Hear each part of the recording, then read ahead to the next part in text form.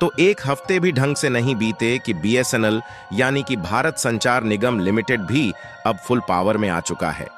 और पिछले एक हफ़्ते में बीएसएनएल के साथ इतने ज़्यादा नए यूज़र जुड़े हैं कि मानो जियो, एयरटेल और वीआई की छुट्टी ही होने वाली है। और बीएसएनएल की तरफ़ से 5G को लेकर एक ऐसी अपडेट आई है, जिसने जियो, एयरटेल और वीआई जैसी इन तीनों बड़ी बड़ी टेलीकम्युनिकेशन कंपनियों की नींद हराम करके रख दिया है। दरअसल हाल ही में जियो एयरटेल और वीआई इन तीनों टेलीकम्युनिकेशन कंपनियों के रिचार्ज टैरिफ के दाम को 20 से 25 परसेंट तक अचानक बढ़ा दिया गया। लेकिन इसी बीच भारत सरकार द्वारा संचालित एक ऐसी टेलीकम्युनिकेशन कंपनी है जिसके रिचार्ज प्लान बेहद ही सस्ते हैं और वह टेलीकम्युनिकेशन कंपनी है बीएसएनएल जहाँ जियो एयरटेल और वीआई के द्वारा रिचार्ज प्लान को महँगे किए ढंग से एक हफ़्ते भी नहीं बीते कि बीएसएनएल की घर वापसी ने सबकी नींद उड़ाकर रख दिया है। क्योंकि एक तरफ़, जहाँ रिचार्ज प्लान महँगे करने के कारण जियो और एयरटेल जैसी टेलीकॉम कंपनियाँ यूज़र्स के निशाने पर आ गई हैं, वही बीएसएनएल टाटा ग्रुप के साथ मिलकर सस्ते दामों में हाई स्पीड इंटरनेट देने के लिए ऐसे प्लान की शुरुआत कर चुका है जिससे मोबाइल फ़ोन यूज़र को बीएसएनएल ही सबसे अच्छा और सस्ता ऑप्शन नज़र आ रहा है।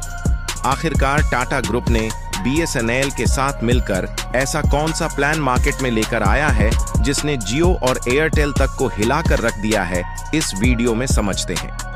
लेकिन आगे बढ़ने से पहले भारत की सरकारी टेलीकॉम कंपनी मौके का फ़ायदा उठाते हुए घर वापसी कर चुकी है। उसके लिए वीडियो को एक लाइक करके चैनल को सब्सक्राइब ज़रूर कर लीजिए, क्योंकि यह आपके लिए एक सेकंड का काम है। लेकिन इससे हमारी काफ़ी बड़ी मदद होती है। दरअसल हाल ही में जियो, एयरटेल और वीआई की तरफ़ से अचानक से 20 से 25 परसेंट तक रिचार्ज की कीमतों को महँगा कर देने से आम जनता पूरी तरह से परेशान हो चुकी है। और खासकर इसमें वह स्टूडेंट परेशान हो चुके हैं जो अभी तक इंटरनेट के भरोसे ही ऑनलाइन क्लास लेकर पढ़ाई कर रहे थे। और लगभग सभी इंटरनेट यूज़र जियो के ऊपर गुस्से में है। इसलिए चारों तरफ़ जहाँ देखो, सोशल मीडिया पर बायकॉट जियो की ही बातें चल रही हैं। हम आगे की जानकारी दें उससे पहले आप इस वीडियो फुटेज को देखें। वो यहाँ पे एक लगा हुआ स्टॉल टाइप का है स्टॉल नुमा है और यहाँ पे लोगों की भीड़ अब जुटना शुरू हो गई है। भीड़ जुटे भी क्यों ना? भीड़ इसलिए जुट रही है क्योंकि जो रिचार्ज है जियो के हो गए वी के हो गए एयरटेल के हो गए वो काफ़ी महँगे हो रहे हैं। हो जाएगा। क्या नाम है भाई? आरिफ पासवान। आरिफ? आदित्य पासवान। आरिफ पासवान अच्छा।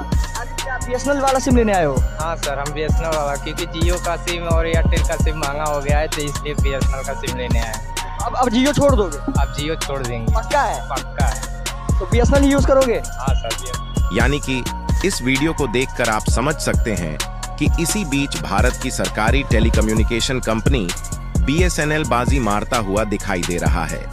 क्योंकि एक समय था जब बीएसएनएल अपने आप में किंग हुआ करता था। लेकिन इन्हीं प्राइवेट सेक्टर की टेलीकम्युनिकेशन कंपनियों के कारण बीएसएनएल को पीछे हटना पड़ा। क्योंकि बीएसएनएल सरकारी स्वामित्व वाली कंपनी थी, जिससे उसको बराबर फंडिंग नहीं मिल पाई। इसलिए जब एयरटेल जियो और वोडाफोन आइडिया जैसी प्राइवेट टेलीकॉम कंपनियाँ high speed 4G service provide करने लगी तो बीएसएनएल के यूज़र में कमी आने लगी। और सभी ने यह कहना शुरू कर दिया कि बीएसएनएल ढंग से 4G नेटवर्क में प्रोवाइड नहीं कर पा रहा है, जिससे बीएसएनएल के सभी यूज़र इन्हीं तीनों टेलीकॉम कंपनियों के यूज़र बन गए। लेकिन एक तरीके से इन कंपनियों ने एक बार लोगों को गुलाम बनाया। उसके बाद सभी मोबाइल यूज़र की जेब खाली करने में हाथ धोकर पीछे पड़ चुकी है। और जब इंटरनेट यूज़र परेशान हो चुके हैं तो उन्हें अब बीएसएनएल की याद दोबारा से आ चुकी है। हालाँकि इस समय एयरटेल जियो और वीआई देश भर में 5G सर्विस दे रहे हैं, लेकिन अभी तक बीएसएनएल की 4G सेवा ही उपलब्ध है। फ़िलहाल बीएसएनएल की तरफ़ से हाल ही में 5G सिम लॉन्च को लेकर एक बहुत बड़ी जानकारी सामने आ रही है। बीएसएनएल की तरफ़ से 5G लॉन्च को लेकर जो सबसे बड़ी अपडेट सामने आई है, उसको तो हम आपको बताने ही वाले हैं। साथ में आपको यह भी बताएँगे कि आखिरकार जियो एयरटेल और वीआई ने अपने रिचार्ज कीमत को अचानक इतना ज़्यादा महँगा क्यों किया? लेकिन सबसे पहले बीएसएनएल के सस्ते प्लान के बारे में जान लेते हैं कि आखिरकार सभी लोग बीएसएनएल में ही अपने सिम को पोर्ट कराने की बात क्यों कर रहे हैं। तो प्राइस हाइक के बाद बीएसएनएल के प्लान काफ़ी ज़्यादा सस्ते हो गए हैं, क्योंकि प्राइवेट सेक्टर कंपनियाँ आठ सौ उनसठ में चौरासी दिन वाला अपना सबसे बेस्ट प्लान ऑफ़र कर रही हैं। वही बीएसएनएल सिर्फ़ पाँच सौ निन्यानवे रुपए में ही इससे ज़्यादा बेनिफिट्स वाला हाई स्पीड इंटरनेट का बेस्ट प्लान ऑफ़र कर रहा है। यानी कि देखा जाए तो बीएसएनएल का प्लान इन तीनों प्राइवेट सेक्टर की कंपनियों से काफ़ी ज़्यादा सस्ता है। और हाल ही में बीएसएनएल की तरफ़ से अचानक मौके का फ़ायदा देखते हुए टावर की संख्या को और भी ज़्यादा बढ़ा दिया गया है। और बीएसएनएल अपने नेटवर्क कवरेज को बढ़ाने में इसलिए कामयाब हो रहा है, क्योंकि हाल ही में टाटा की तरफ़ से पंद्रह हज़ार करोड़ रुपए की फंडिंग बीएसएनएल को मिल चुकी है, जिसका उपयोग करके बीएसएनएल लगातार उन शहरों और गाँव कस्बे में अपने 4G टावर्स को बढ़ाने में जुट चुका है, जहाँ पर इस समय बीएसएनएल के 4G नेटवर्क उपलब्ध नहीं है, और साथ ही बीएसएनएल इन 4G टावर को इस तरीके से सेटअप कर रहा है, ताकि इसे अगले साल 2025 में 5G टावर में आसानी से अपग्रेड किया जा सके। और आपको जानकर हैरानी हो सकती है कि बीएसएनएल फ्री में 4G सिम कार्ड बांटना शुरू कर दिया है। यहाँ तक कि यह टेलीकम्युनिकेशन कंपनी शुरुआती दौर में फ्री में इंटरनेट और डेटा नए यूज़र्स को प्रोवाइड कर सकती है। और बीएसएनएल ने इसकी खुद जानकारी दी है कि इस महीने में जुलाई की शुरुआत में उसके साथ इतने नए यूज़र जुड़े हैं जितने आज से पहले कई सालों में नहीं जुड़े। दैनिक भास्कर की एक रिपोर्ट के मुताबिक, बीएसएनएल के सिम की जो बिक्री है, वह जुलाई के महीने में तीन गुना बढ़ चुकी है। और तीन गुना बढ़ोतरी तब हो चुकी है, जब जियो के द्वारा रिचार्ज प्लान को महँगा किए ढंग से एक हफ़्ते भी नहीं बीते। और अनुमान लगाया जा रहा है कि जुलाई महीने बीतते बीतते एक बहुत बड़ी संख्या में बीएसएनएल से नए ग्राहक जुड़ने वाले हैं।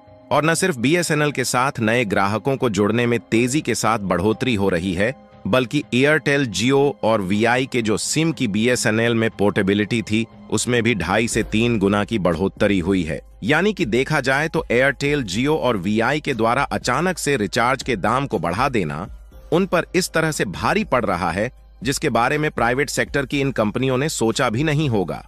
और नए ग्राहकों के जुड़ने से बीएसएनएल को नई जान मिल रही है और बीएसएनएल नए नए ऑफर्स का अनाउंसमेंट करके हाई स्पीड इंटरनेट प्रोवाइड करने में जुट चुका है। और बताया जा रहा है कि साल 2025 में पूरे देश भर में बीएसएनएल के 5G नेटवर्क उपलब्ध हो जाएँगे। चलिए, अब बात कर लेते हैं कि आखिरकार तीनों टेलीकॉम कंपनियों ने एक साथ पैसे क्यों बढ़ाए? तो आपको बता दें कि इन तीनों कंपनियों ने रिचार्ज के रेट को बढ़ाने के कई कारण गिनाए हैं। लेकिन इन तीनों प्राइवेट सेक्टर की कंपनियों ने प्लान की कीमत बढ़ाने का मुख्य कारण एआरपीयू को बताया है। टैरिफ प्लान बढ़ने से इन कंपनियों का जो एवरेज